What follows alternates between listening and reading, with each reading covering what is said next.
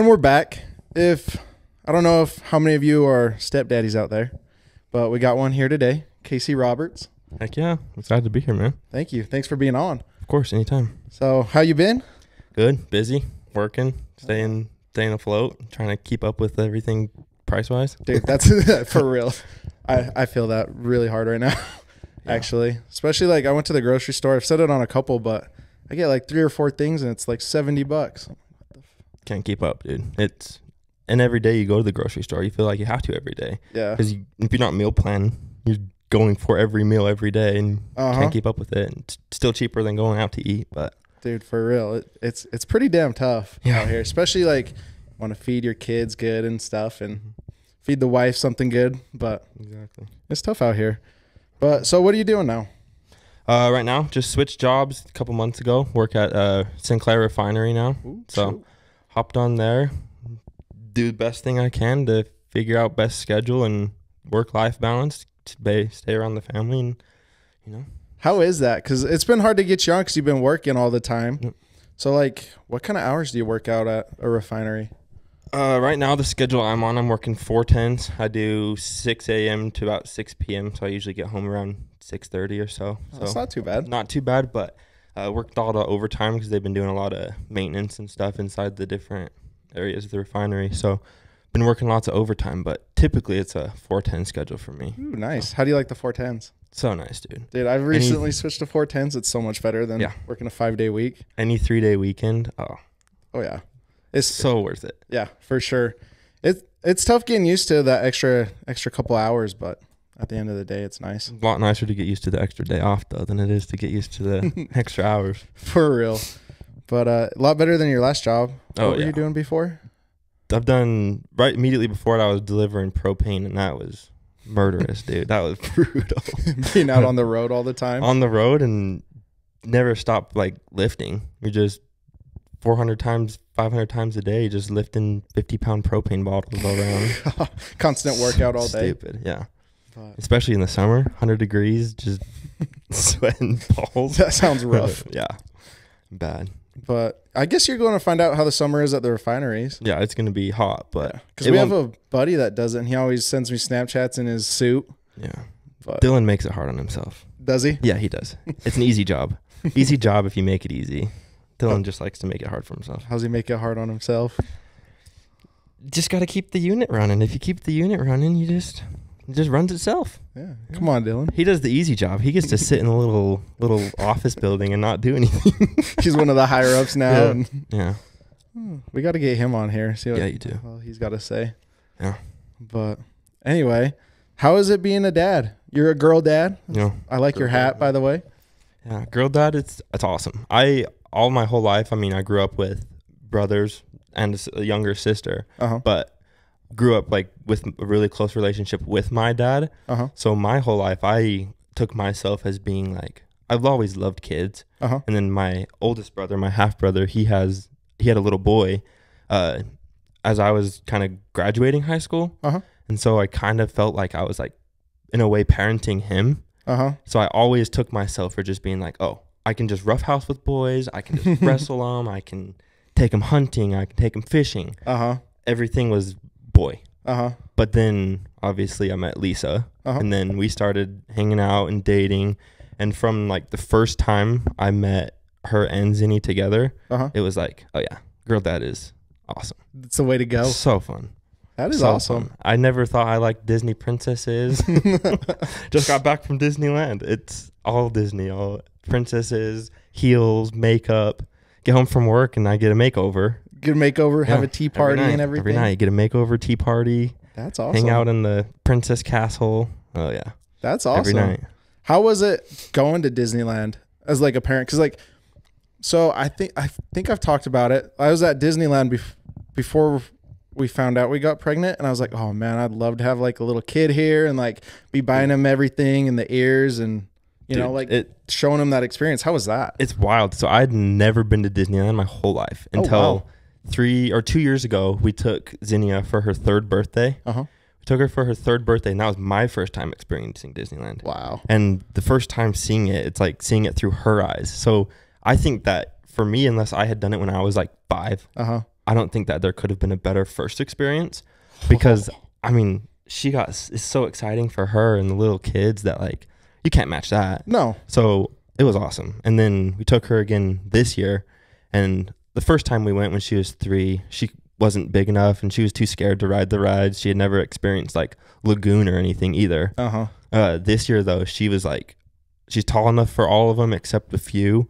And she was full in on She ride about it? everything. Oh, yeah. Damn. Oh, yeah. And she was wearing her princess dress and said that's what made her brave the whole time. that is so cool, awesome. dude. she ate it up, dude. She loved it. Rode like some of the crazier ones, and she had like the Matterhorn. Oh wow. She had to sit alone in the front because they're saying like, oh, the weight thing. You have to set the smallest in the front, Oh, and she's just sitting in the front alone. Had no idea what to expect.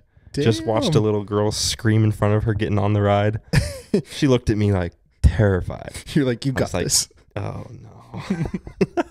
It's is awesome, though. It's it's so fun. You can't like I said, you can't match the experience of seeing them experience it. And like she got a little doll like Jesse from Toy Story. Man. And then she saw Jesse, the character, the actor. Uh huh. She like looked like she saw heaven, dude. It was insane. She like eyes just lit up and she couldn't even walk. It was so funny. We were like scooting her. That is so it was freaking fun, cool. dude. So like, do you geek out when you go too? Because like, especially with the little kid, I feel like you kind of have to match their energy a little bit. Be like, if they're excited, you got to show you're excited and just kind of feed off of each other.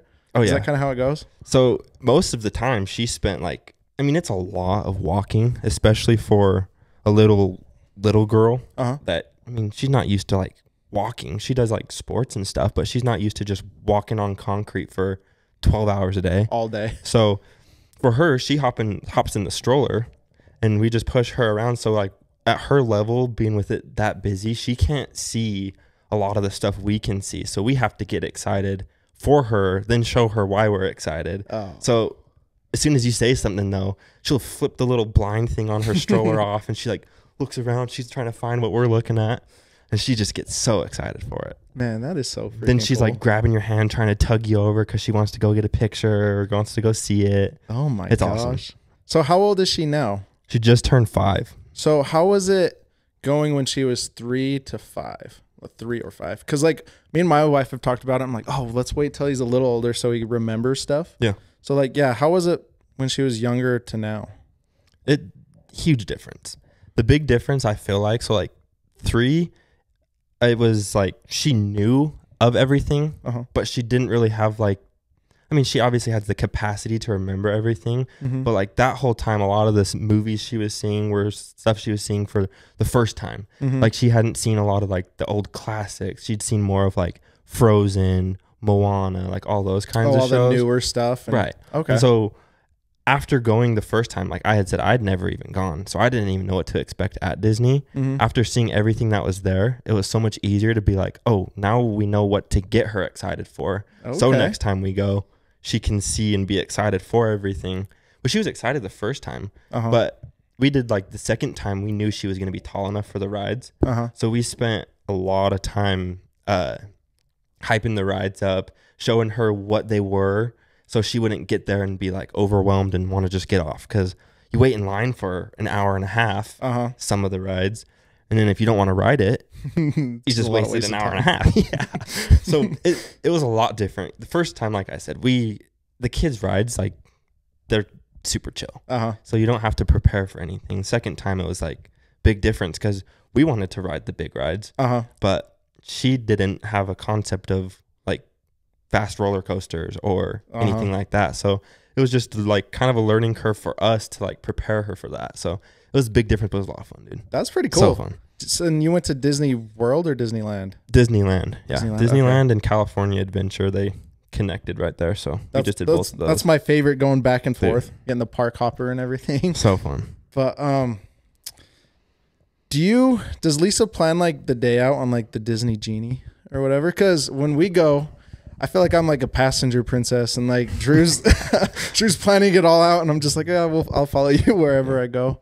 She hates planning that stuff. Uh, thankfully, both times we've gone, my mom and my sister went with us. Oh, that's nice. And so the first time we went, my mom, when we would want to go on like one of the bigger rides, uh-huh. my mom turned like grandma mode on and she wants to go on the kids ride with her. Uh huh. And then when she's not going on those rides, she's just hanging out with my sister and they're going and doing their own thing. Uh huh. And so this year though is a lot different because my mom kind of planned most of it. Okay. She was just like, and my sister has a like she has a friend that kind of helped us plan it because they go every year, uh huh. and they kind of just told us like these rides need to like you have to ride these before certain time of the day or else you're going to be waiting over an hour. Mm-hmm. So get there at this time, and if you get there at this time, you'll tip pretty much just walk onto the ride, Mm-hmm. and then you won't have to worry about going on it the rest of the day, and it's knocked out. So that's kind of how we planned it. We kind of let other people that had a lot more experience and Mm-hmm. like time being there to just kind of tell us what to do instead of winging it because we did that the first real. year. It didn't really matter because we were just doing small rides, but yeah.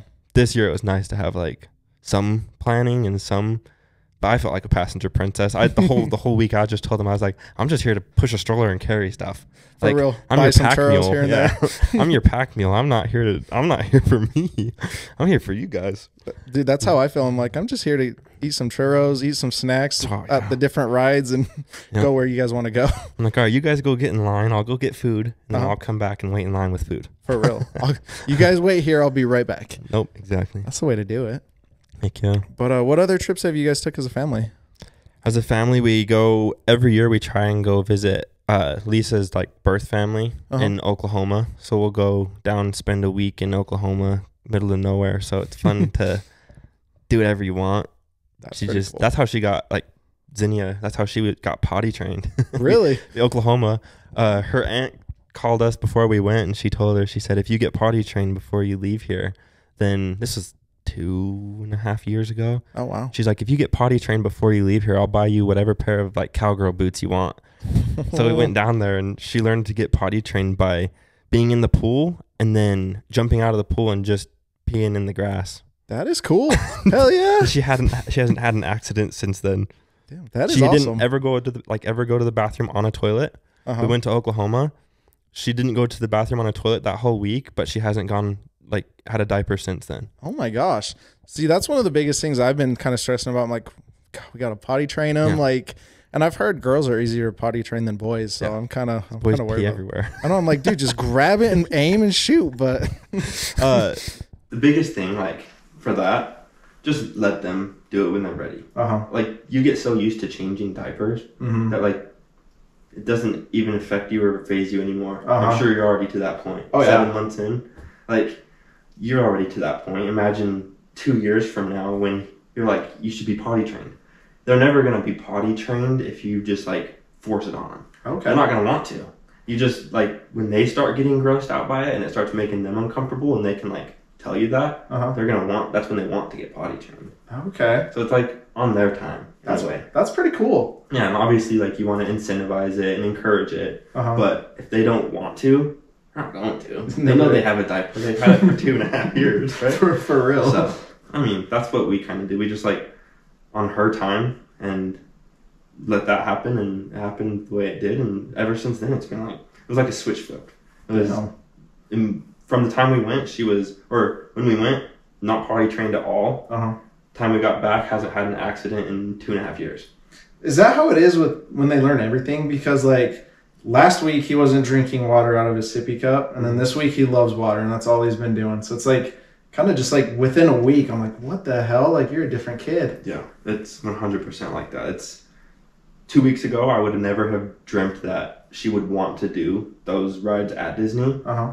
This time we go, 100% different. Like switch flips. It's overnight too. Like it's anything. Like her diet, like she only ever wants corn dogs, chicken nuggets, waffles, or cereal. Like what kid doesn't, right? yeah, for real. So like trying to get her, and then like one night she'll come home and she's just, I want a, a taco. Like, Where, where, where, where did you go? why do you want a taco? yeah, where did that come from? Like, yeah, and then she'll try everything we eat. And then most nights she's like, I want ramen. no, no. we can't just have ramen. no. But it is like that though. Like once they figure it out, it's just like you don't they don't even remember what they did before. God, That's pretty It's cool. crazy. It's cool. It's like watching a little kid evolve. It's crazy. See, that's and what it I'm happens most. so fast. That's what I'm most excited for is seeing them like evolve and like what piques their interest and like what they grab onto. That's what I've I've heard. I don't. I want to ask you how that is. Like, have you noticed them experience something and then just like get hooked and like grab onto that? Yeah. So like a movie or like something like that. Yeah. Mm. So everything she kind of does is like she's a she just has like an obsessive personality. Uh huh. Like she doesn't jump ship to like hobbies or things she likes to play with. Like it's Uh-huh. always been Barbies. It's always been gymnastics. And it's always been like if we go fishing, she loves to fish. She loves to camp and like all those things. Uh-huh. But she doesn't like. She's not scatterbrained. Whatever she's has in front of her is like all of her attention, all of her focus is one hundred percent and like in that. Like Dang. uh, we played t-ball with her last fall, last spring and fall. We played t-ball with her and my nephew. Uh-huh. They're on the same team, and my brother and I coached it. And when she's at t-ball, she's like all the other kids are like running around in circles, chasing each other, and she's just like staring at the ball and like waiting for something to happen. She's ready. Oh yeah, and then same thing like fishing. Like she just like she'll get bored of that. Uh huh. But when she's like in fishing like mode, she'll just sit there and just stare at her pole, and you like won't hear her talk. You won't hear her like move. You hear a pin drop. It's like it's kind of scary. she's obsessive over like all that stuff, movies, everything. You'll like be like Zinnia, Zinnia, and you'll talk to her for like a minute, and then she's like, "What? She's like, I was watching the movie. I don't know what you were saying to me. cow! I'm right next to you." that is awesome. is like obsessive though. She is 100% in everything. Damn, Yeah. that's awesome. That's fun. What? So you said she, you guys were playing a little bit of t-ball, little gymnastics. What sports do you guys got her in? Whatever she wants to do, I feel like kind of the best way, kind of how I grew up. I was lucky and my parents let me kind of do whatever I wanted to do sports wise. Uh, with her, we did like, we've done the same thing. I don't ever want to like make her play a sport, Mm-hmm. even though like I want her to play basketball. Yeah. I want her to play flag football. Mhm. Like learn those things. I want her to play baseball, softball, whatever. I want all those things. Yeah. But I'm never gonna like I'll introduce those things to her, but I'm never gonna like put my uh, desire into like her thought process of how she would want to like approach it Uh huh. because then that's just her that's just me living through her and I can do that with anything she does. Yeah. But I don't want to like her to do something because she was, oh, you have to play soccer. Oh, you have to play football, whatever. Uh huh. So she's ever since I've been around them, she's obsessed with like music. She's obsessed with dancing. So right now she does dance uh, on Mondays. She has gymnastics on Tuesdays, Ooh. and then in the spring and fall she has t-ball on Thursdays. And Dang. she loves t-ball because our ne- my nephew's in it, and they get to be on the same team. Uh huh. But she also is like starting to like it for herself. Uh huh. But that's the three she's in right now: is dance, gymnastics, and t-ball. So That's pretty cool. Yeah. And like, I'm glad you brought that up. Like that, you're not going to force her to to do anything. Mhm. Cause like I, you see it in the movies and shows and stuff, and like you see it actually like when you coach and stuff. Right. It's like, damn, that dad's just really trying to live through his kid because he didn't go anywhere. Like you know, he's trying to like force his kid to go further than him, and I don't know. Do you know what I'm saying? Yeah, I know exactly what you're saying. I I see people and stuff like that all the time. Like there's a difference between my whole family has done this our whole lives, and that's like our passion. Uh huh. And then my dad did this and like didn't get what he wanted out of it, Yep. and so now he's putting that on me to fulfill his like His dreams Right, that right. were and failed. that's what like. Like yeah, I played football. Yeah, I played basketball, ran track and stuff. But I Mhm. don't ever like want that for my kids if that's not what they want. Yeah, like that's how I feel. I'm like, if you want to be a mathlete, then I'll be Yeah. there cheering you on, and Hell yeah, I just you might be smarter than me, and I won't be able to help go you to study. Stanford, But. Like go to Harvard. I don't care. That'd that's be what, sick. That's where you're going, and that's like the route you take. And I don't like. I wasn't that person. I Uh-huh. haven't been that person. Mhm. I, I had good grades, and I like did well in school, but I wasn't ever interested in being a scholar athlete. Mhm. Like.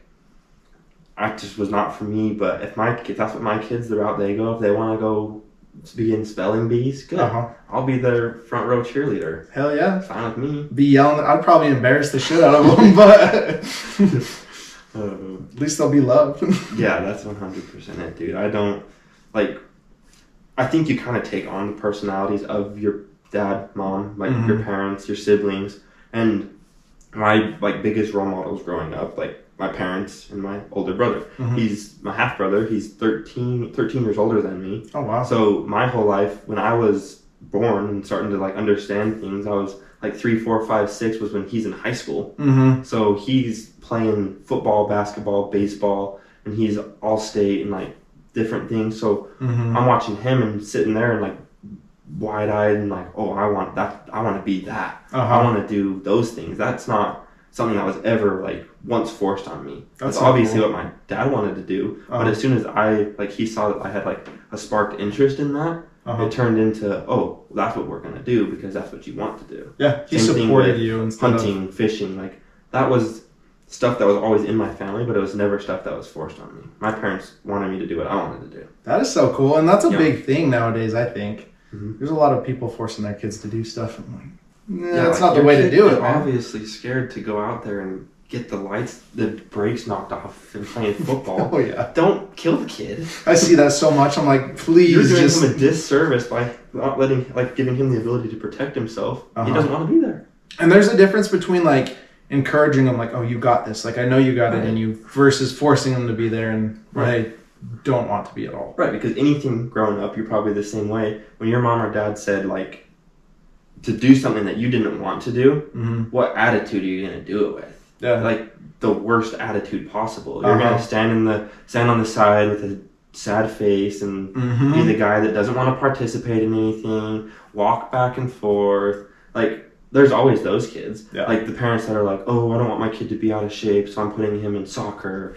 or then they didn't want to run in the first place. Now you put him in a sport. That that's all it's that's all it is. Yeah. Is running. Of course you have you have to like introduce it. Then you have to show them why it's fun. You can't just sit here and point fingers and say, hey, this is what we do. This is why I'm telling you to do it. You can't Mhm. just tell them from the sideline. You can't be a like backseat coach just saying, okay, yeah, go do that, but yeah. not ever show them that you would do it. Yeah. They're never going to do anything you wouldn't do yourself. Yeah. So you can't just armchair quarterback them and Uh-huh. it's one hundred percent like up to the parent, even if it's something that they don't want to force, to excite them. hmm And like one thing, like you just said, like you kind of have to explain stuff to kids. Like when I coached, I don't know how Zinnia is, but like when I coach little kids, Mhm. I'd tell them something, and they're like, "Why?"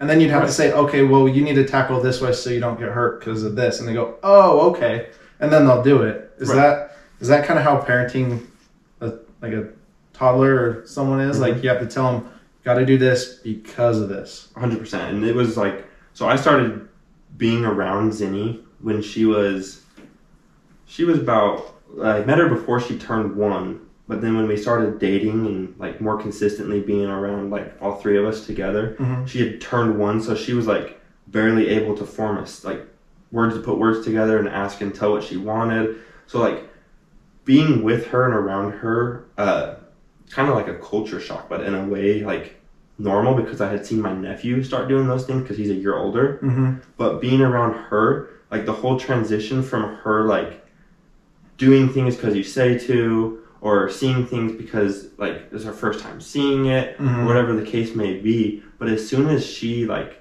things start to click, Mm-hmm. it's like a night and day difference and like overnight it feels like with how fast they start to like understand things and as soon as they understand it everything comes with why. Uh huh. everything comes with a question. Like go brush your teeth. Why? Because you have to brush your teeth.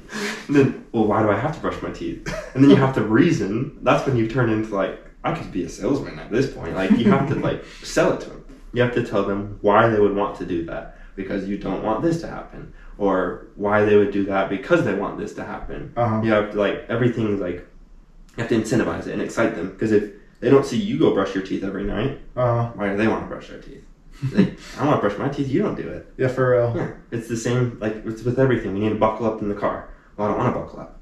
Well, you have to. Why? It's the law. It's the- the law? It's just a snowball effect of questions. But I mean, I wouldn't like trade that. I love like because there's a lot of things she'll ask me I don't even know, Uh huh. and then I'm like. Um, I do my best to guess, and then I have to go look it up and explain it more later. Hurry and Google hope it real she brings it up again. Yeah, Google it. Yeah, Kind of opens your eyes. That's what I've seen is like does. when kids ask why. I saw saw a TikTok and like when kids ask why, you end up learning a lot more than you originally knew. Yeah, one hundred percent. It's I have learned obviously more about being like knowing things for no reason, Mm-hmm. but then they always have a reason somehow. Yeah. Like that's why like I feel like I've become more of a sponge than I was when I was learning stuff I was supposed to learn in high school. Uh-huh. Then I like I feel like I've learned more now as a dad than I ever learned of twelve years of education or however many like you know Through all those years of education and from time you're born to the time you're out of high school and college if you go like get to that point Yeah.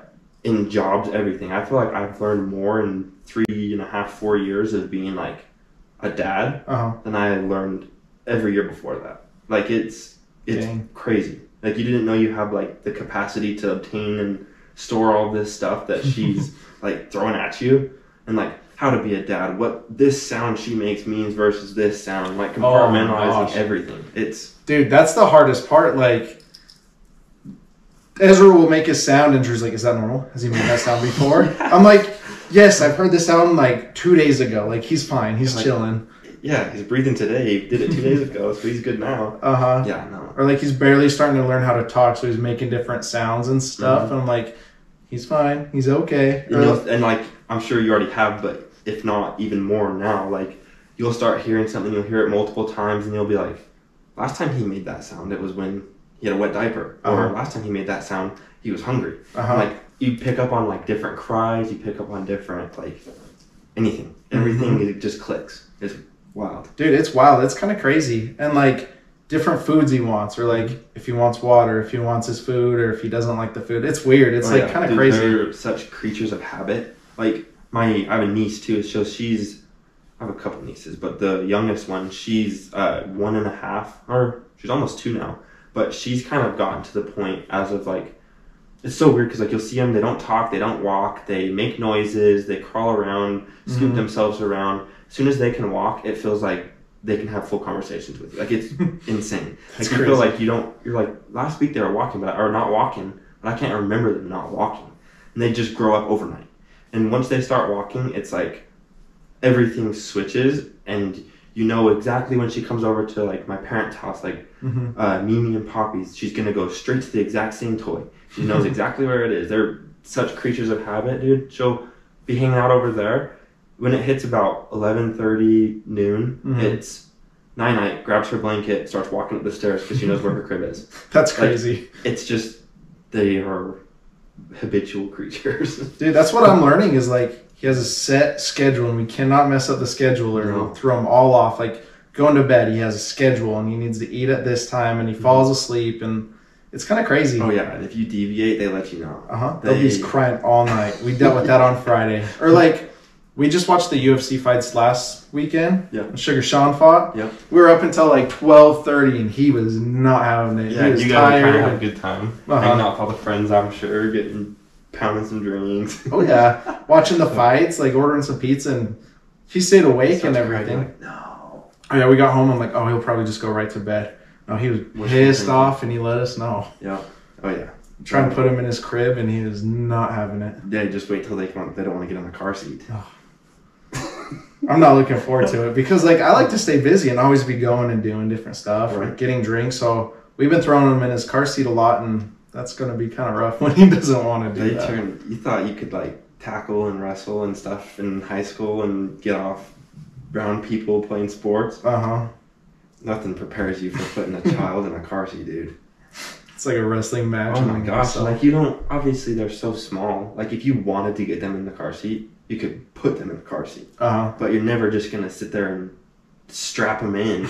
Like, you're not gonna sit there and make it so your child can't move in a car seat. They're not gonna force them into a car seat. Mhm. But I mean, obviously, you're not just gonna let them run wild in the car while you drive.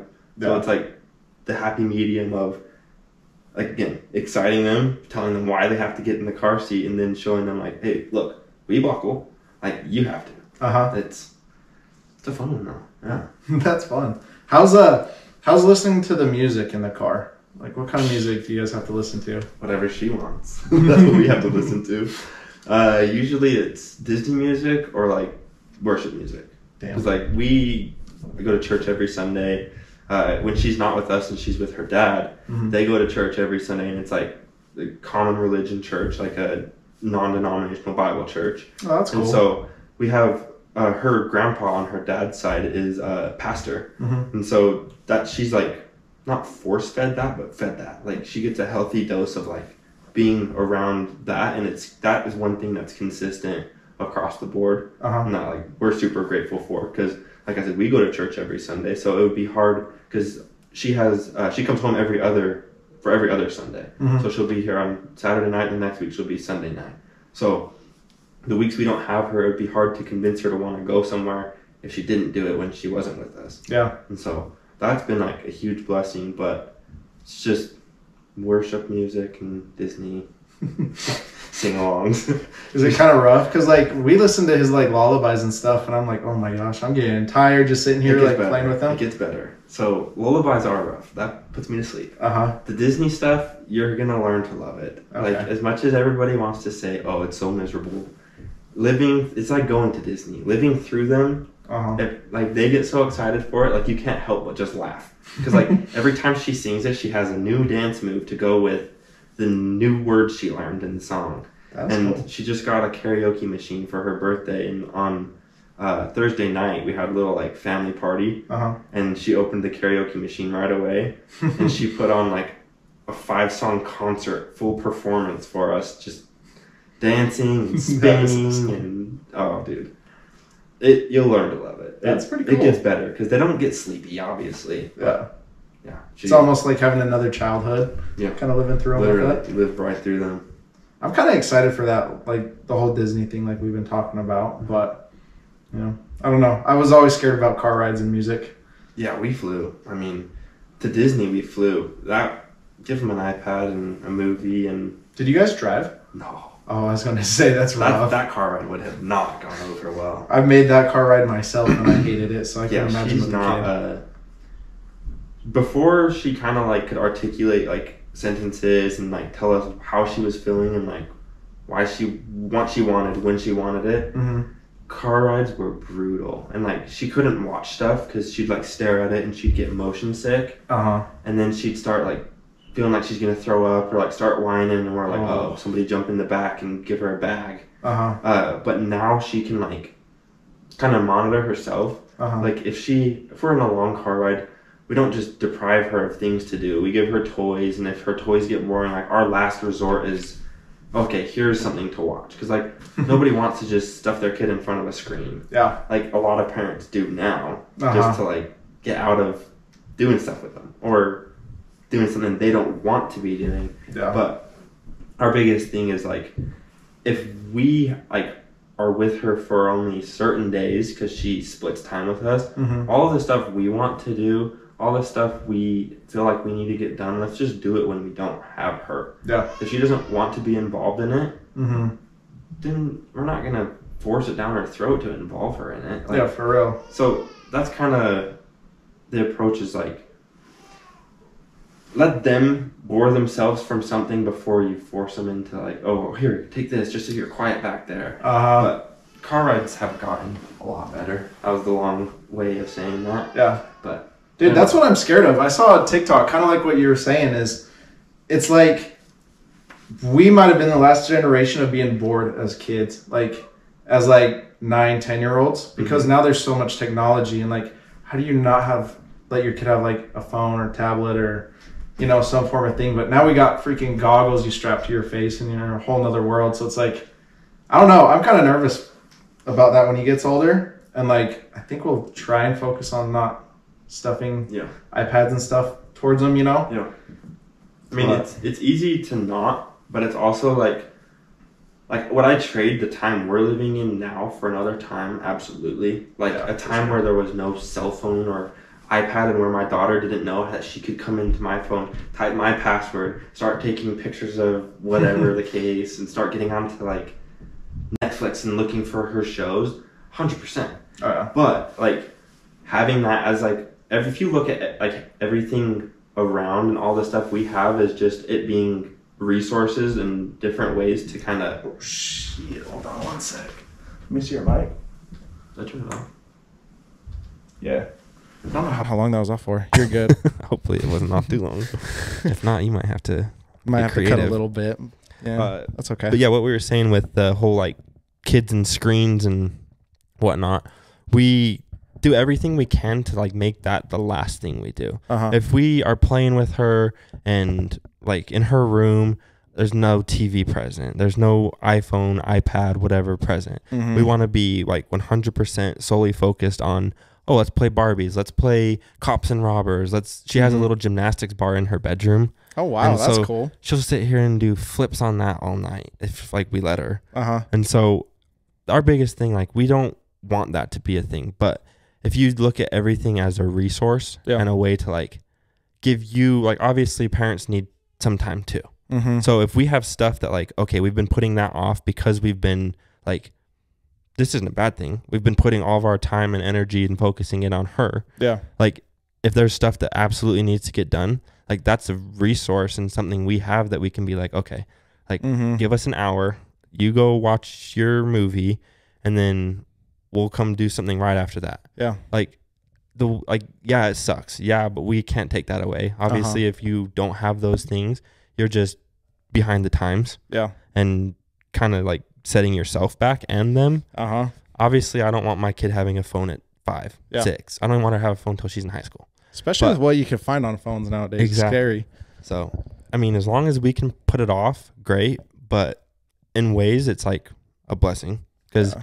you can use that to like promote success. Now, there's so many like there's online schools, there's online Mhm. curriculums because like I was homeschooled growing up, right? Yeah. So everything we did was paper and binder. Have to do everything like that.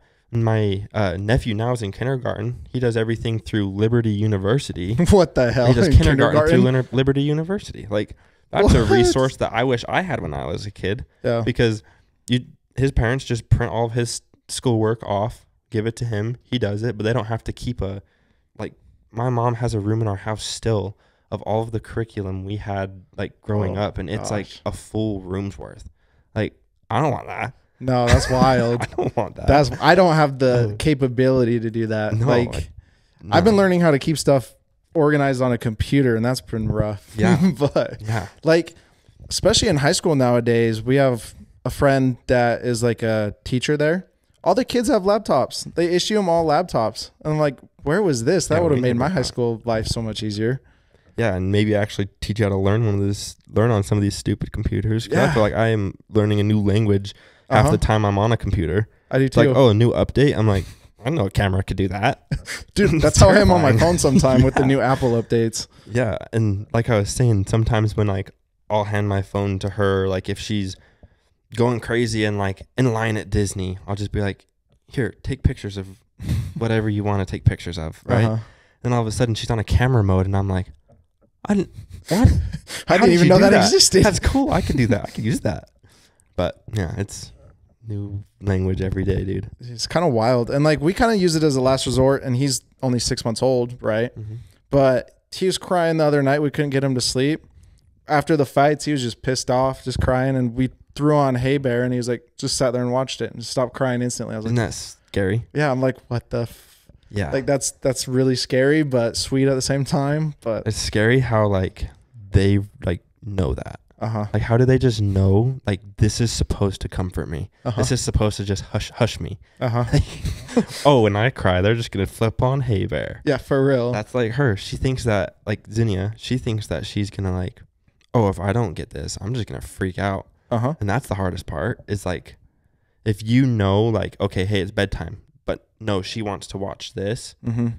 The hardest thing in the world is fighting her for two hours of her crying and wanting that, but sticking to what you originally said, saying no. Stick Like, to your guns. that's not happening. uh-huh. And now if I let it happen, she's gonna do the same thing tomorrow night when it's time for bed and she wants to watch Bluey. You Mhm. know, like if you're not consistent, there's no way they're ever gonna be consistent. They can't stick to a schedule if you don't stick them to the schedule. uh-huh. So like every night before we go to bed, we like, okay, if your room's not clean, I don't expect you to clean your room Yeah. because you spent what all day sitting here playing in it, right? Mhm. I don't expect my five year old to go deep clean her room every night before she goes to bed because, like we were saying earlier, that's not something she wants to do. Mhm. What kind of effort or whatever is she going to put towards that? And that's just going to be two hours of cleaning Uh-huh. on top of the whatever amount of time it took you to convince her to actually do it. Uh huh. So it's just like incremental, right? I understand as a dad of a toddler that if we go into her room and she's got 50 things laying on the ground, she might pick up five Uh huh. and I might pick up the rest. But the other 45 things that like I picked up, she saw me like putting my action to where like my words. Yeah. Like she didn't see me just sit here and say sit on her bed on my phone and say, "Okay, go pick that up. Go pick that up." Like she said she saw like, "Hey, we have to clean before we go to bed. Mm-hmm. Let's clean before we go to bed." And then the next thing she knows, she picks some stuff up and she has like a sense of accomplishment Uh huh. and she's like, "Oh, shoot, like we can actually do that every night and it only took 2 minutes." Yeah, for real. Like it's not hard. It's just a schedule that you have to commit to also because for me, I have to be into Salt Lake by like six o'clock. Mm-hmm. So I have to go get up four thirty, get ready for work, pack lunch, get Mhm. like everything together, and then get out of the house. mm-hmm. So if I'm going to bed at 10, 10.30, I'm only getting six hours of sleep. But you Oh, God, have, that as a nice. parent, you have to commit to that because if you're not committed to the process of keeping them up and keeping them consistent on their routine, Yeah. then there's never gonna be a routine. Uh huh. So Damn, that's good advice. Don't be lazy. Don't be a lazy parent out don't. there. Like, focus, help them, and show them. I It might, That's the biggest thing. that's like what Lisa and I always say. Like it sucks. We hate cleaning. Mm-hmm. But if we hate cleaning all this time and we show her that we hate cleaning and we don't do it Mm-hmm. when we have to do it, because eventually you're going to have to do it, Yeah. so much worse doing all of it at once versus trying to keep up on it for five days of the week, a couple Mhm. minutes at a time versus you're who wants to spend their whole day off tending to a dirty house. Not me. I don't. I'm. I'm a clean freak, so I understand like that perfectly. laundry is different. Like, okay, do their laundry on the weekends. Yeah. That's fine and good. But if that's the only thing you have to do, Then that's easy. That's the easiest thing in the world. Start a load, go do what you want to do, yeah. come back, swap it. Dude, how do how uh do you guys make her make food at all or like make her clean her clothes or fold her clothes or anything? Like I saw a thing saying like you kind of got to let your kids struggle a little bit Mhm. in life Mhm. because then they'll grow up being like tended to, I guess so to Right. speak. So like make their food when they're like hungry and you're busy or something or Mhm.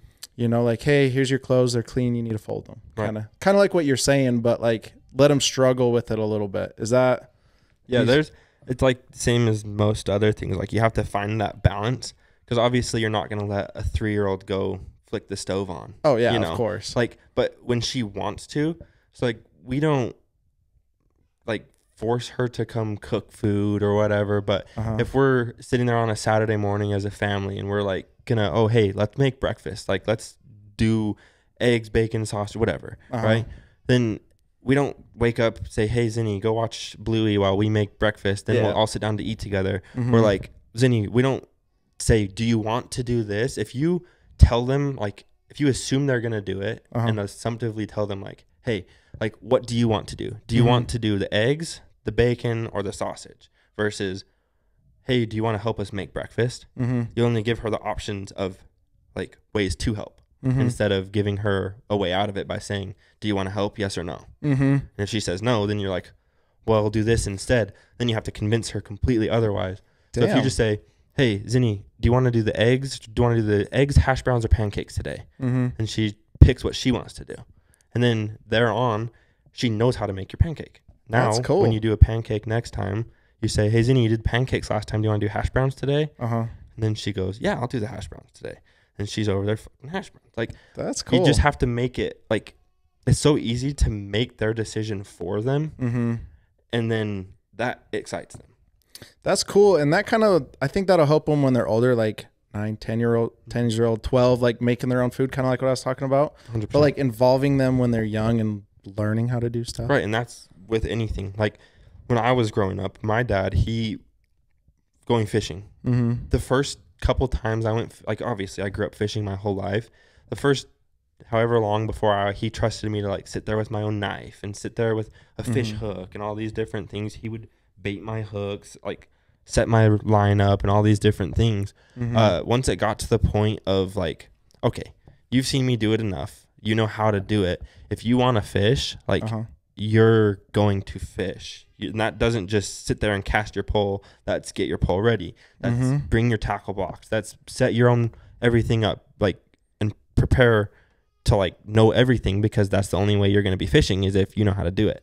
Yeah. Like he'll be fishing for ten minutes before I'm fishing, Uh-huh. but I want to fish. So if I'm not doing it myself, I'm not going to do it at all. dude i think that's huge especially nowadays like i catch myself well he's just six but like wanting to do everything for him or like making it easy like especially when he's trying to learn how to crawl i'm like oh let me just help you out like pick you up you know get you it's like quicker, get you there a little quicker. yeah it's like no you gotta kind of let him learn because there's no other way he's gonna learn Right. or you know Yeah. whatever child Oh yeah. so i find myself doing that any like adversity they can face the like it like you said it's the hardest thing to sit there and watch them struggle with something like but you'll see it as they start to get bigger if it's something that like they want uh-huh. they're going to exhaust every option and figure out how to do it themselves uh-huh. like if he can't crawl he'll use the ball he'll use his toy whatever Mhm. he has near him like they're going to connect the dots and figure that out as a resource to like yep get them to do something and that happens like quick like you're gonna see like and once they figure it out once they just know and it kind of like like i said like that sense of accomplishment like Mhm. whether they acknowledge that like oh i accomplished this or not mm-hmm. it you can just see it click because then the next time they do it you're like that makes so much sense like why they can do it because like when we played sports growing up right mm-hmm. how did you know what mesh point to hit on a read option so you did it a million Yeah. times Mhm. right and then And once you- you, see it work you're like oh yeah, you're like, okay, now it makes sense why my guard and tackle are kicking and everybody else is down blocking and there's one on one with the safety, whatever, Uh-huh. linebacker. Like it all makes sense to them the same way that that makes sense to us. Yeah. When we see like a project we do come together, we're like, oh, okay. So that's why I did all the stupid little framework on this door mm-hmm. just so that it can sit here and swing open and shut. And that's like the most effortless mechanism for the, like that yeah but it clicks the same way in their brain. As soon as they crawl once, they're like, "Oh, this whole time I only had to put one arm underneath me and push." You're like, "Oh, I got this." Yeah, and from there, it's just like goes into walking. Then Yeah. it goes into using like hand-eye coordination, then so on and so forth. It's crazy, dude. Dude, that's so cool because like I I see what he, what you're talking about. He's starting to like pull himself now. Mhm. Like he can't crawl and he's still on his stomach, but he'll grab something and pull himself forward or something. right, and then like he'll start pulling stuff under him, Uh huh. and then he'll like push on it, and he'll start crawling over it, and then he's like, "Okay." So Mhm. when I'm pushing on stuff, I just have to have my arms under me instead of an object. Yeah. and like that's how they start crawling and once they start crawling it's just consistently just next step next step next step Dang. like least like less and less things that help them move mm-hmm. like once they start rolling over off their tummy has he started like Yeah, he'll Flipping roll over? Yeah.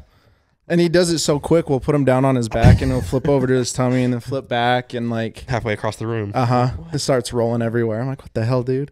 stop Stop, stay. yeah like that's things with like zinni she'll do something and like it like freaks you out you're like in her little gymnastics bar she'll sit there like the first day she she got it on christmas mm-hmm. uh by christmas like end of christmas day it Uh-huh. was like middle of the next day probably we had lisa's uh, brother and his fiance staying with us mm-hmm. and i had showed her like a bunch of tricks i used to do gymnastics when i was like 10 That eight, makes nine, sense 10. now. Why you have such good footwork. and so like i was like used to that stuff so i would show her stuff that like they taught me when i was little but stuff that she could obviously do so Uh-huh. like pretty like like easy to grasp concepts of things to do for her Uh huh. and she just immediately could do them. And I was like, wow. Gosh dang, like she'd been in gymnastics, so like it wasn't like new to do gymnastic stuff or see a bar or whatever, Mm-hmm. but to be able to just do it right away was insane. And then uh the next day after Christmas, I worked and uh, I got home and she was hanging out with Lisa and her brother and uh, his fiance, and she's like, "Dad, come here." And I was like, "Okay." I walk into her room. I thought she was gonna show me like something they set up that she got for Christmas or whatever. Mm-hmm. She goes sprinting to her room, just grabs the bar on the way by, and just like almost flipped over it. Holy shit. And I was like, it dragged the bar halfway across the room. I was like, you are gonna kill yourself on this thing. You're like, you need to be careful. yes. And then she like flips her legs up, is hanging by her like her knees, backs of her knees, puts her hands down and like does a flip off of it. What the And I was heck? like, what? I like t- walked into Lisa's uh into our bedroom and I was like, our neighbors are going to murder us. Like they are going to hate us downstairs. Their mm. third floor, it's just boom, boom all day. That's awesome. And as soon as she gets home, beeline straight to that thing. Damn. And she's just flipping. Like you'll walk in there and she's standing on it. I'm like, this is not a beam. Like, You're like, we need to get a mat if you're gonna be doing she this. has a little one, but it is not not big not enough. enough. We need a bubble wrapper. That's funny, dude. I've I've heard that like kids are better at learning stuff because they don't have any fears, like Yeah. on snowboarding, doing gymnastics, stuff like that. And like, I feel like we gotta, you know, as dads, take that into our life a little bit. Yeah. It's like we golf, Mhm. you know, and you'll see the water and you get scared a little bit, and then you mess up because you're you scared hit of hitting the water. yeah. Whereas like kids, those I've seen kids step up to a putt, nail like a 90 foot putt. And I'm like, how the. F-? Just Yeah. because they don't know the consequences, they're Right. oh, they don't know anything else. Uh-huh. Like they don't know what they don't know. uh-huh, They just like, oh, I've never like seen anybody fail at this or this hurt anybody. uh huh, Jump into it. Uh-huh. I think that's like a huge thing too, though. Like as like dads, parents, it's like our biggest job is to not instill that fear into them. yeah, Like I get it if it's like okay, like I'm scared of snakes. I'm Uh-huh. scared of spiders. Like whatever. Like okay, yeah. like that's different like those are just small little things that they'll get over whatever but like who wants to like instill into their kid that they should be scared to go to a new school that they Mhm. should go make new friends that they should go talk to an adult even though they're just a little kid like yeah. those are all fears that we as like dads have to like show them like like they can't we can't tell them to do something unless we walk the walk too Yeah. like if we can't go up and talk to somebody new Yeah. if we can't go start a conversation make new friends uh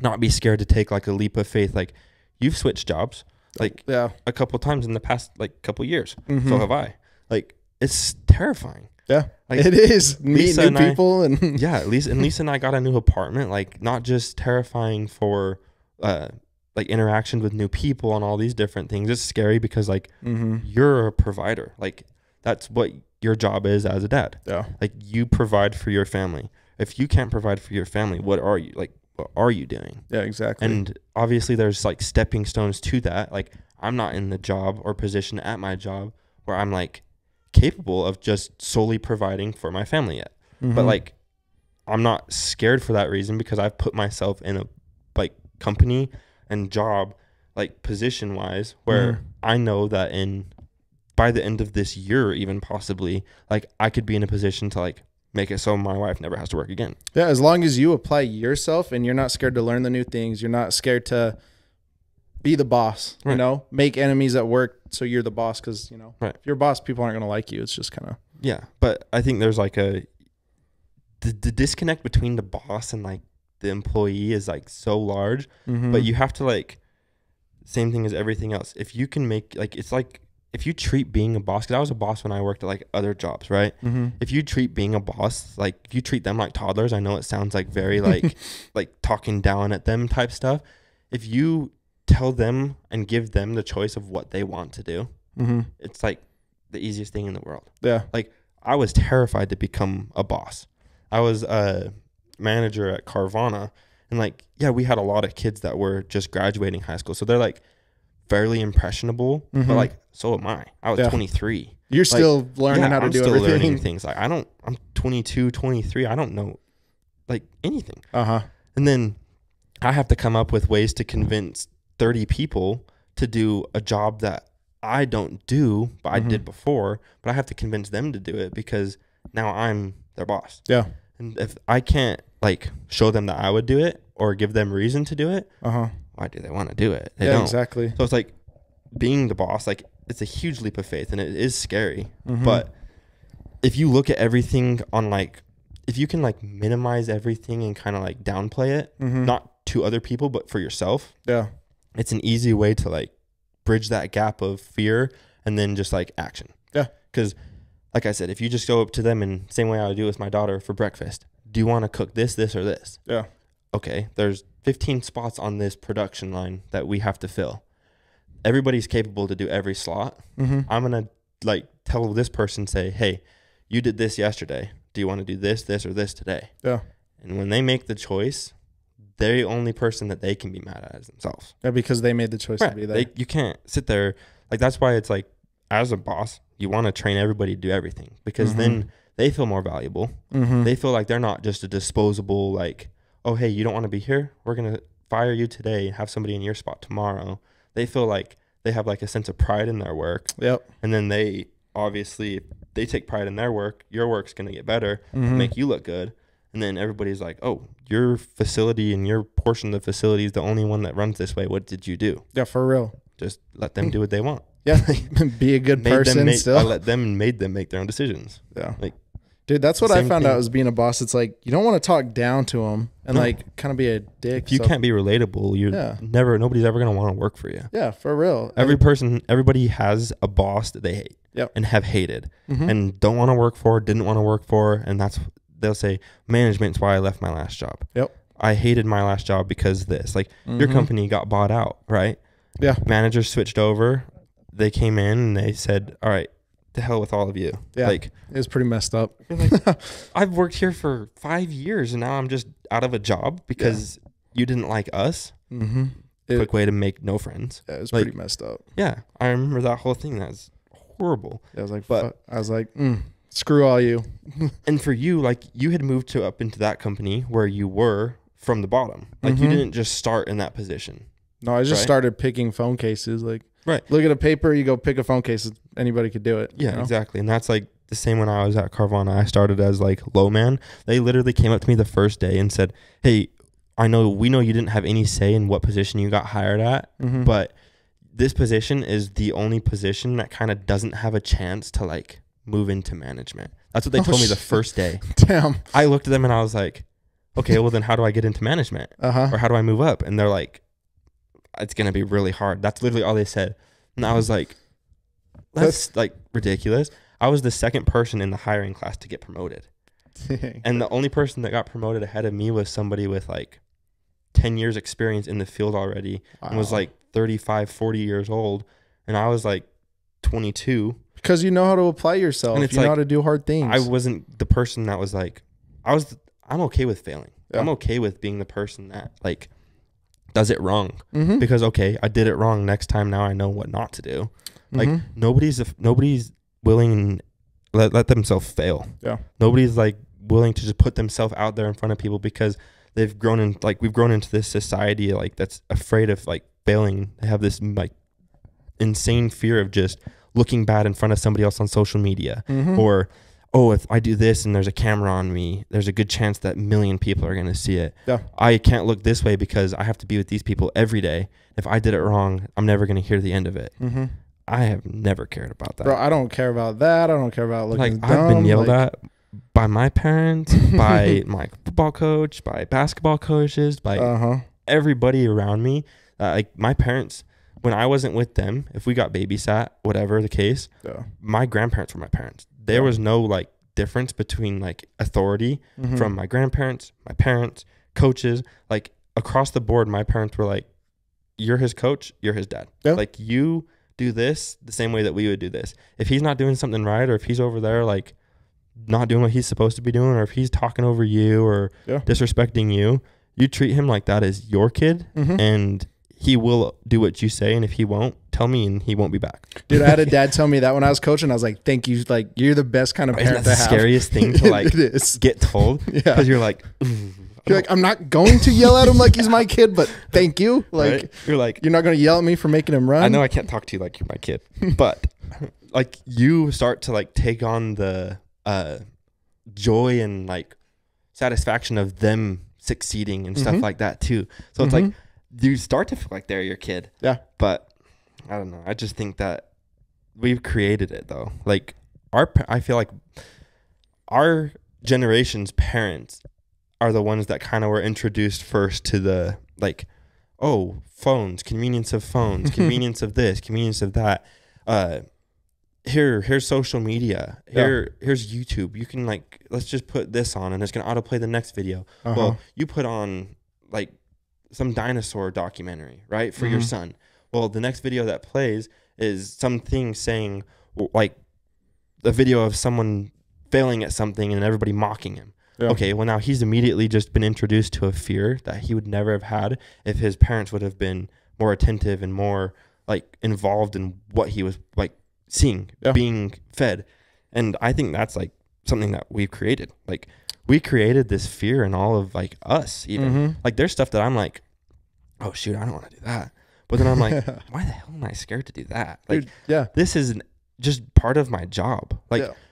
the other day at my work, we were cleaning out the inside of a tank, and like it's a tiny area. Like nobody really fits in it. Mhm. Nobody fits in this area. You have to squeeze yourself into it, and then like as soon as you get in there, like there's dust and stuff, so you can't see anything. Pitch Mhm. black, and uh, like you immediately start to feel claustrophobic It sounds so scary. we have a kid there that's like I was like props to you like he wanted to do it he like I'm gonna do it Yeah. he got in and like he the whole time he's like said he wanted to do it but would like tell me he's like dude I'm like freaking out I'm like you don't have to prove anything like there's a difference between like being scared and then just knowing like your limits yeah. like there's like nobody's gonna say anything to you about not doing it like oh you, he's a chicken whatever Uh huh. they're gonna be like, okay, yeah, that's like, I get that, right? Yeah. They're gonna respect you more for just being like, no, I'm not doing that, Yeah. For real. they are for you to like do it just to say you did it and then get out and be like, oh yeah, like it was not bad. Yeah. So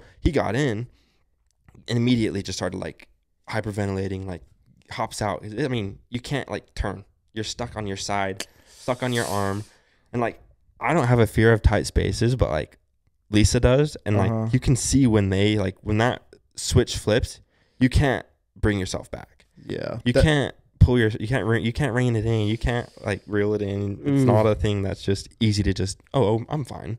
Yeah. You can talk yourself out of it once you're like out of the area or even sometimes in it. Uh huh. But if you're not used to that, Dude, it's a different mindset because like I watch those caving videos and I my hands get so sweaty when I'm, I'm, not watching those. claustrophobic, but I'm not stupid. I'm not going in those. Yeah, I'm not dumb.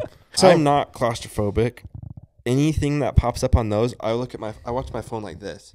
I'll close too. an eye. I'm like, I I'm like, holy I hate that. It stresses me out so bad.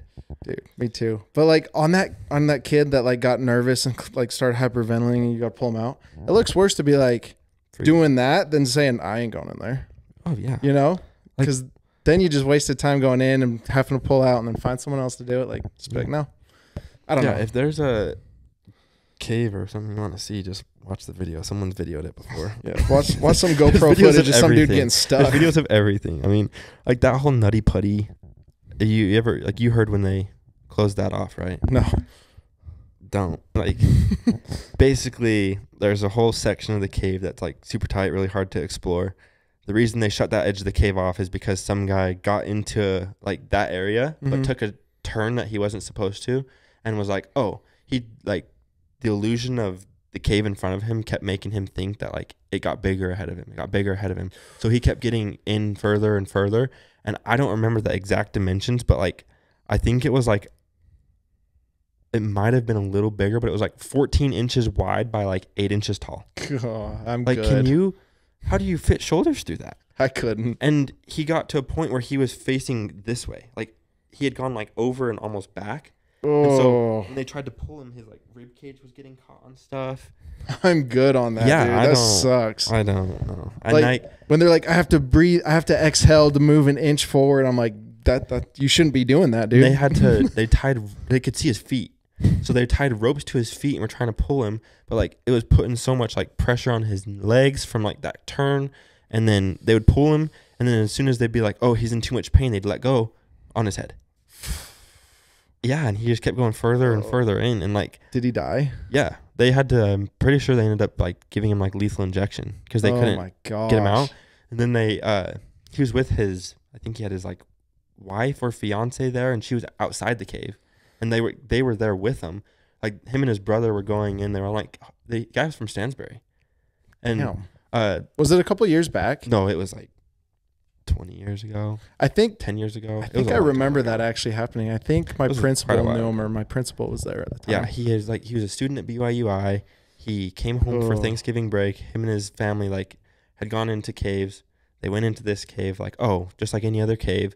He got stuck. Their dad had been stuck like three times before in different caves and like had gotten out. So they were like when he got stuck at first, they were just laughing. They're like, this is just gonna be another like cave recovery story, like us getting out of one, even though dad's got like we always get out. Uh huh. And then his brother was the one that was right behind him. And then his brother had to turn around, go tell them like, hey, he's stuck, get medical crews. He was there for like like a day plus. Dude, I couldn't even imagine that. That's insane. Terrifying. That's that's awful. Yeah. Ugh. Caves are yeah. But the whole fear thing, like those types of fears I understand. Yeah. If there's been something that's forced or like put that fear on Mhm. you, that's different. Yeah. And sure, his parents did a good job by not making him afraid of those places and afraid of those things. But it's almost like blind confidence in a way too though. Yeah. Like you can't that dumb confidence. yeah, you can't like set them up for success, but so much to the point where it's like just it's taken too far. Yeah. Like those are those same like the, the guys that do stunts for Red Bull. They're jumping out of planes with no parachutes and like, okay, hey, hopefully you can catch up to me and grab me and strap your parachute to me. If Yeah. not, mm. bye. Hasta luego. I'm good, no. dude. That sounds That- awful. that's not that's not That the sounds- way to bridge that. Like no, you can be not afraid of things, but you can also to a point. yeah, you can also understand that life's more valuable than Yeah. a viral video. Yeah, like you could take L's. You could definitely take losses and you know look like an idiot here and there, but don't Nothing, nothing's better for you. Than not that, life or death. Nothing's better for you than taking L's. Yeah. Like- I I saw a Kanye thing on TikTok. He's like, you don't learn from winning. You don't learn from having a perfect life. You Right. learn from losing. You learn from, you know, like trying something and it failing. You Mhm. learn more from that actually than like having a perfect life. Yeah. It's so perfect. And I was, I can't agree more, honestly. And like watching kids crawl and like, they're not going to learn by you helping them, you know, they're going to learn from failing or falling on their face a little bit and go, okay, I don't want to do that. Right. And like with that, I mean, it's the same thing. Like they don't stop falling on their face. Mhm. You know, they don't stop falling on their face when they're like two, three, Mhm. four. I mean, Zinni, she does stuff now, and like, it's to the like we've. I would say like we've done well with her to the point where if she does like fall, like both literally and like figuratively in the sense of like failing, Mhm. like we don't like shame her for that. Yeah. It's like a good thing. Like Mhm. it's like, oh, well, if you fail at it, now I'm gonna give you the resource of how to do it. I'm not gonna do it for you. Yeah. But I'm gonna be like, okay, I could have told you this before, Uh huh. but I'm not I'm I didn't because I wanted you to figure it out. But now you failed at it. So now I can say, hey, instead of what you just did, try Mhm. this. Here's a then- tip. Right. Now she's like, okay, but you don't just say, here's the answer to the test. Yeah. Right? You say, here's like a better way to try it. And then Mhm. they try it again. If they fail again, okay, then you give them a little more. Yeah. And you just keep going that way.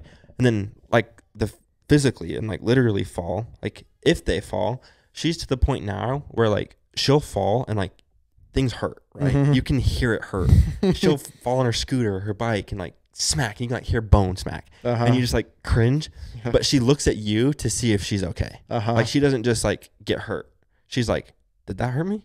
Like looks at Am you, I good? and you're like, "You're okay. Get back up." And then she's just like brushing it off and like climbing back on her bike. and you're like, "God, that one did hurt. That like, one "That- did hurt. that would've Like, hurt That hurt me. Yeah, that hurt me through you. Damn. So I mean, That's the biggest thing. Like in football, like I don't know when I was playing, I'd always get hurt, and it's just like you kind of just got to get up and walk it off. Because my dad instilled in me like, oh, you're not hurt. Like get up. oh yeah, You know, dad- and, like, your dad wasn't You're all right. hurt. No, I broke my collarbone, and he's like, "Why are you Yeah. getting up so slow?" And I was like, uh, "I think- my, I, my bone's poking up," and he's like, "Oh."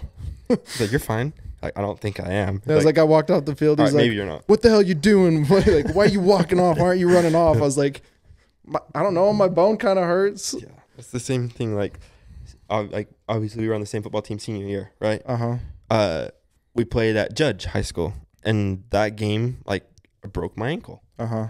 and I kicked and punted and like Yeah, you're running insane. back, cornerback, like returning, whatever the case. Like I played, I was on the field like mostly the whole game, right? Ninety-five percent of the time. so time. if I wasn't, it was because it was halftime or quarter break or something, right? Mhm. So, I mean, I was so used to like just exhausting everything in my body. Everything always hurt. Mhm. And so when I got my ankle rolled up on, I was like, okay, that's a different hurt than like I was hurt. Then yeah. And like as soon as I was laying there, the first thought that went through my head when I like stood up to try and walk and just dropped, I was like, Clint is gonna murder me, he's gonna grill me for being hurt because he always made fun of Leo's team. Leo, I forgot about Leo's team. He's like, I was the. Fr- I'm just laying on my back, staring at the stadium lights, and I'm like, I'm gonna get made fun of by Clint. Like my coach does not give a damn that I'm sitting here on my back with a like hurt ankle right now. I'm like, does he? And I'm like, no, he really doesn't. It's like, thank goodness it was almost halftime. Got it taped up. Uh, the tape was like made it so tight because it was obviously starting to swell. uh huh. It was like by the third quarter, middle of the third quarter, the tape was ripping. Like it was swelling so bad. And he was still making me kick off and punt. I'm like, see that he did not care. And uh the next day I was like, okay, I've just put ice on and I was like, I'm fine, trying to convince myself that I'm fine. Uh huh. The next day, like it didn't hurt when I woke up and I had forgotten about it. And I like roll out of bed, step off my bed, and just drop to the floor. My mom's like, We're going to the doctor. So we go to the doctor. they tell me it's broken. She hands me a doctor's note and says, Hey, this is like doctor's note. You need four to eight weeks off. Uh huh. And hands it to me. And my mom, we were walking out, and the doctor's like, You need crutches? Here's a brace. Do you need crutches? And I was like, Absolutely not. I don't want crutches. She's like, I'm good. And uh, we're walking out, and she's like, Here's a brace. I threw the brace on because it did help. Yeah. And we're walking out, and as we're walking out the door, I threw the doctor's note in the trash can. You're like, I don't need My this. mom's like, "What are you doing?" She got so mad at me, and I'm like, "I, I don't want that. I don't want to be the guy that doesn't do anything." But For then real. same thing, like everybody's saying, like, "Oh, you're not hurt." Well, I never told him I was hurt. I told him that it got hurt, and I went to the doctor, Uh huh. and they said that like, yeah, I should probably have some time off. But I said I don't want time off. So like me putting that and giving that to him, anytime I said like, if I ever said, "Oh, hey, like." I want, I need a rep off. My ankle hurts. Uh-huh. He'd be like, "You said it didn't hurt." Like, "Yeah, you're right. You're like, yeah. Yeah. You're right. So I can't be hurt now because I told him I wasn't. So I had to finish the season punting and kicking and everything. Damn, I see. I didn't even know it was broke. I- That's insane. There were times he's just like, "If you need to," like Leo would tell me, he's like, "If you need to, just don't practice this week." Uh-huh. I'm like, "You expect me not to practice, then tell the back the guy that's my backup, like, oh hey, by the way, you were starting all week in practice, but you're not starting today because I'm just playing games." damn. Hell no. No. I wouldn't. That's I would never do that to somebody. Yeah, for real. Like I will limp around practice all week, all season, to like earn respect and like for myself. Mhm. Show myself like, okay, if you're gonna say you're this, then you have to prove that you are. yeah, for real. So it was like that was like a huge thing because that healed for. I didn't get all the way healed until like three, four weeks into track season. Dude, you're insane. was- I can't even imagine that. Cause like, so I broke my collarbone my freshman year. My Yeah. dad yelled at me. That kind of instilled that into me, you know, Yeah, kind of like what you're going on. And then I broke my ankle junior year. I wish you would have broken it before our game against Stansbury freshman year. I, that's when I broke it was Yeah, against you guys. After you embarrassed us that game. Dante landed on it. I was like, holy shit, bro. And it broke. And uh, That's fine. You're probably up 49 7 it, something it anyways. was like 49 0. and- Yeah. but like, I didn't want to show anybody I was hurt, so I'd walk around and I'd see people from Stansbury. I'd throw the sling off. I was like, "Oh no, it's cool." right.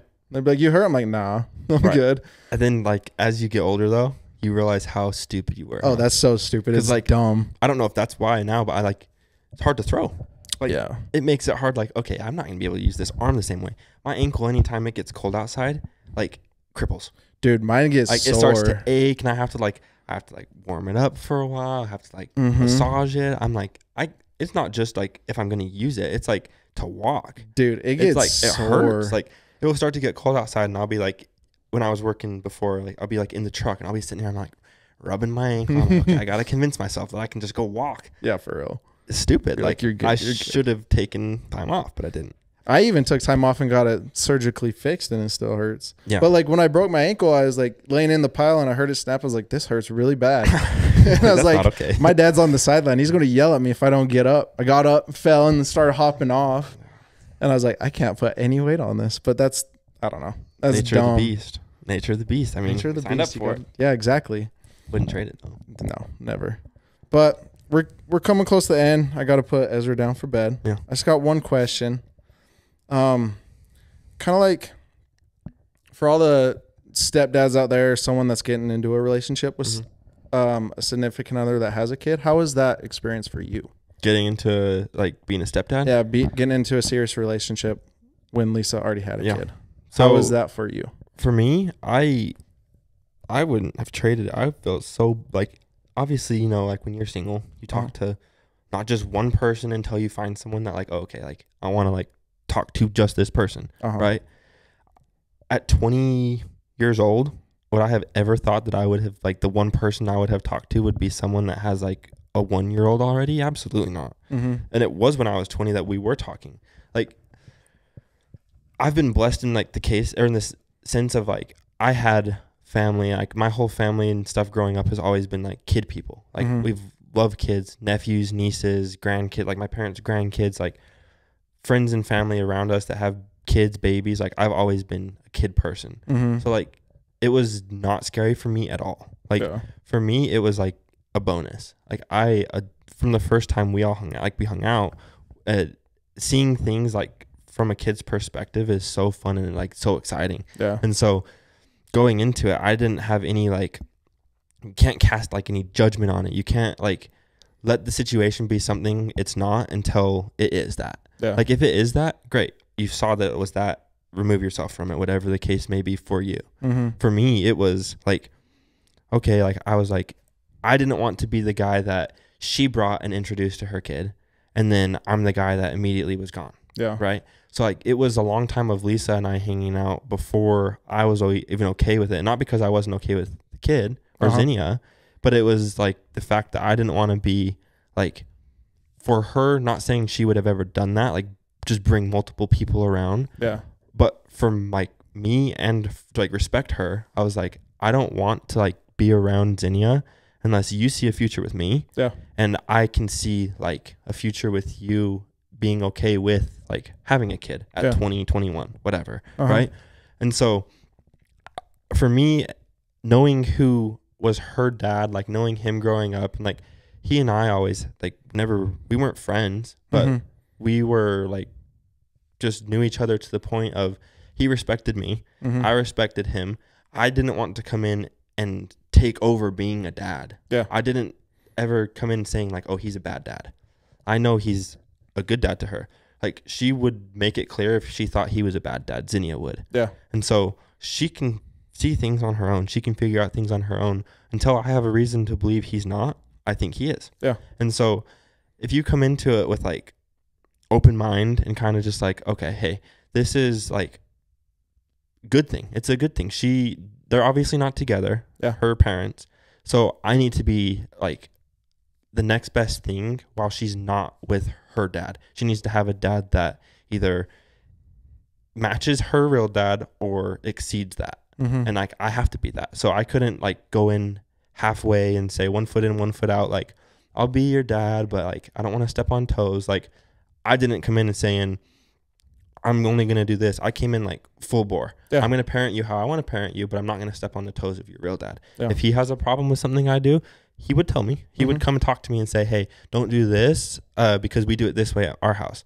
And then we could either find like common ground and say, "Well, let's try it this way," Mhm. or if his way was like just as good, just different, do that. Yeah. So they have like her parents have a good relationship now. So it's for me, like I said, I've been super blessed and it's fun because she gets excited. Like birthdays, she gets four grandparents, two sets of parents, like 10 uncles and aunts. Like yeah. It's all fun. So, I mean, for me, I think that being a stepdad's the best thing in the world. I love it. That's freaking cool. That's And- awesome. And it's fun too because, like I told you, like I have a nephew. And they're this a year apart. yeah. It's like watching them be little best friends, like I was with my brother growing up. Uh huh. It's like having a sibling, even though she doesn't. You Yeah. know, it's awesome. That is freaking cool. Yeah. That's awesome.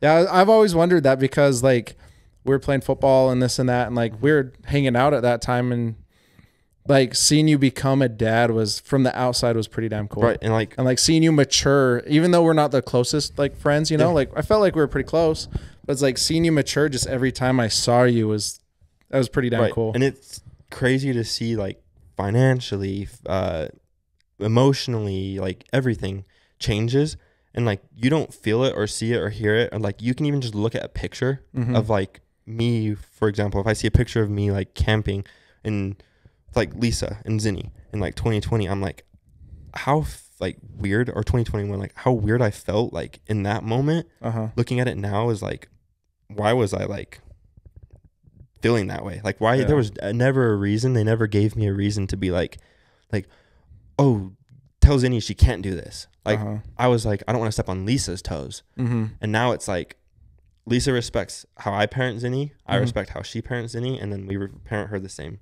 And like you said, when we were hanging out, it was like I can feel myself maturing. Whether I like wanted to step back and be like, "Oh, like I'm figuring it out" or not, Mm-hmm. like I never want to say I figured it out. yeah. But then you hear people say like, "Dude, you're like, that's awesome. Like I Mm-hmm. like respect that. You know, that's like, like okay, like work's being put in, it's Yeah. being acknowledged, and it's paying off. Yeah. So like, those are that's awesome. I love that. So Well, that was the coolest thing because, like you're saying, like I saw you mature and everything, but like a lot of guys our age at that time, you know, like, oh, I went and talked to a girl, but she had a kid, and yeah, no one's thinking of yeah, like, like. I'm good.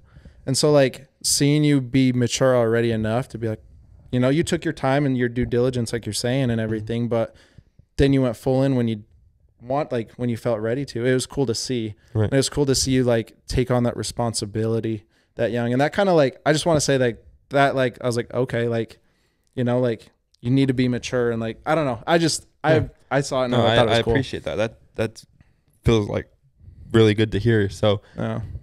in those moments, you like feel like uh, I'm like an outcast of my friends because like You were, like, None one of the first friends- ones to have a, yeah, like obviously there's be a dad. Derek and stuff. Like he had his kids young and whatever. uh-huh. and uh like in like our group though like my friend group from high school like mccoy got married early Mhm. mitch got married recently but like we've had like long-term relationships but nobody ever had a thought of a kid yeah. so like when people would hang out and stuff and they'd be like hey we're all getting together on this and i'm like i got a kid like i can't. can't. like the first while it was hard to swallow the pill of like oh my life's different Uh huh. but after like a while and like the way being around the family and like having a kid and doing like okay well when they go do stuff let's do something here that's gonna get us as excited as we would be if we went and did stuff with our friends Mhm. whatever and like that's more of an like a different kind of excitement that Mhm. you can't match whether it's anything to do with your friends like that is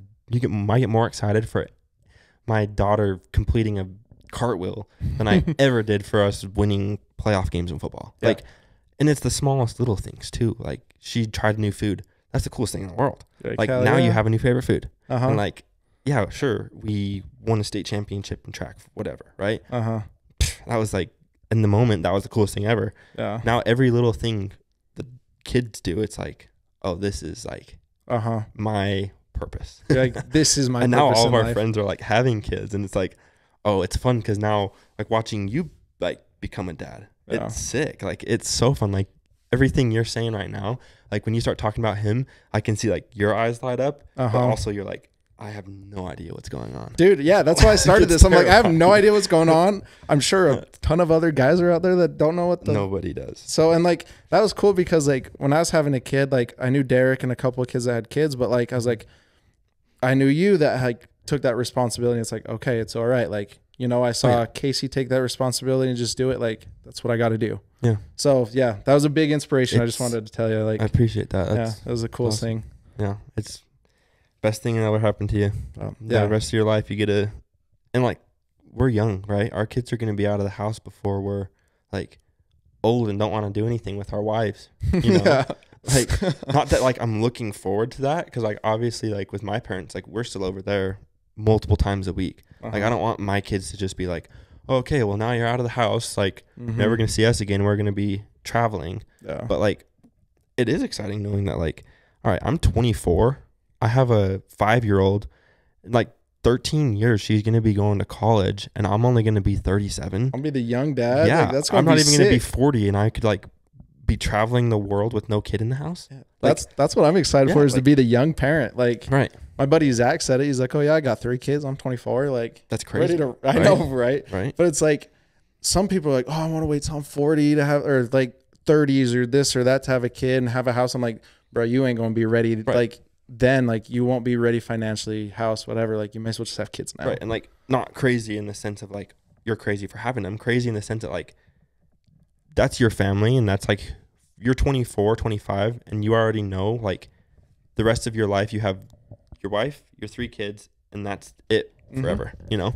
Until your kids start having kids, like you're 24 and you already know your whole like the next You're ready to 25 years of your life. dude yeah and it's like That's that awesome. pushes me more than anything ever did like i was like oh i want to do this or be rich or do that and like as a kid everybody says that like "Oh, i'm gonna make it to the nfl Yeah. you know like no but like once you see your kid and you're like i gotta provide for this that's giving me the biggest. Right. it like makes me not want to like take my time to go like I mean obviously I want to do things that I want to do Yeah. and I want to like succeed in things that I want to do because those things directly correlate to like me being able to have time to raise my kids but it makes me put a lot of things that like selfishly I want to do like oh I want to go on a week long camping trip to go fishing hmm I don't want to do that anymore I want to figure out if my daughter wants to go like do something for a week Yeah. you know like all of my things that I want to do are all now all like things I don't even care about Yeah. because I want to do what she wants to do. that or like find a way to like include them in it and Right. then see them light up and then it's like oh i don't know if my friends would like be cool with me bringing a kid well then i don't know if they're your friends bro Exactly. like